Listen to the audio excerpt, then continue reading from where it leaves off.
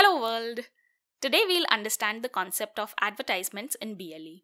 The dictionary meaning of the word advertisement is an announcement, and that is precisely what a BLE device does in advertising mode. Verbal communication between humans involves speaking and listening.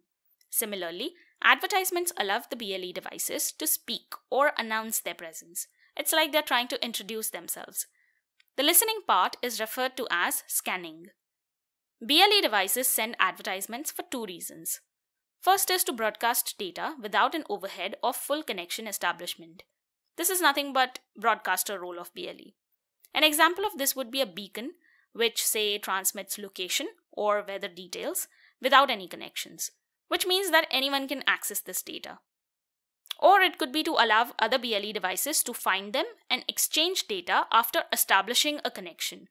This is nothing but the peripheral and central role. So peripheral sends advertisements so that it gets discovered by a central. An example of this would be a fitness watch, which acts like a peripheral, and a phone, which acts like a central. So whether it is about requesting a long-term connection or broadcasting as an electronic beacon, it all starts with advertising. BLE uses 40 different RF channels in the 2.4 GHz ISM band. Out of these 40 channels, 37 are used for exchanging data after connection establishment. These are known as data channels. The remaining three channels are used exclusively for advertisements. These are called primary advertising channels. Now one may wonder, what is the reason for selecting these three frequencies specifically? So channels 37, 38 and 39 were carefully selected for advertisements as the activity of Wi-Fi is the least on these channels. Thus, there'll be minimal chances of interference with Wi-Fi which exists on the same ISM band. Also, all three channels are placed at quite a few megahertz distance from each other. This is done to ensure that if there is any interference from other devices in one of the frequency ranges, then at least other frequency ranges are available for advertising.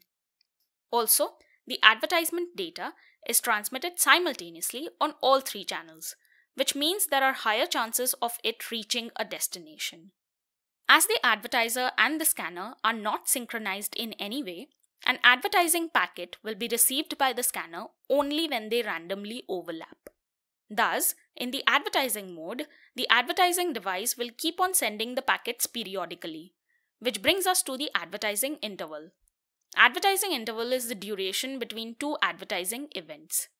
The interval has a fixed value plus a small random delay, usually of 0 to 10 milliseconds. As all the BLE devices advertise on the same three channels, thus a random delay ensures that multiple BLE peripherals don't get locked into a collusion loop. The advertising interval can range from 20 milliseconds to 10.24 seconds. The main radio is switched on only during the advertising event, and the advertising packet is transmitted thrice, as there are three advertising channels.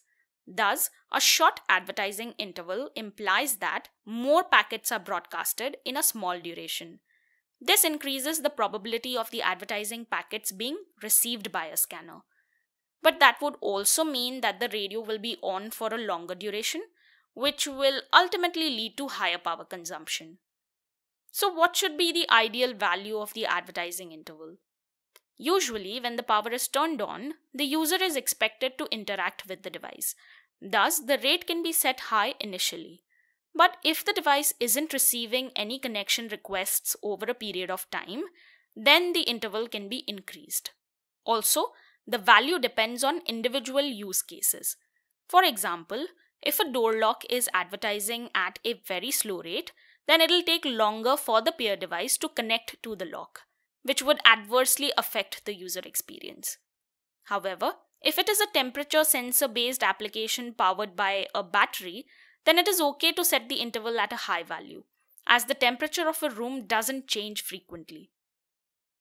So, according to you, which values would be the best for these two use cases? Comment down your answers. So, that is it for today. Let's glance through the concepts that we learned today.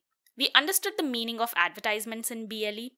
We also understood the purpose of advertisements and found out about the channels that are used for advertisements. We also understood the reason behind the selection of these three channels.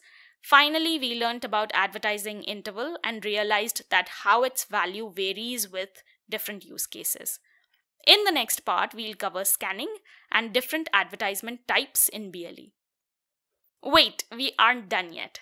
I did my part. Now please hit the subscribe button and like and share the video. Oh, and don't forget to check the description. You'll find a link to a playlist which covers all the videos related to Bluetooth Low Energy.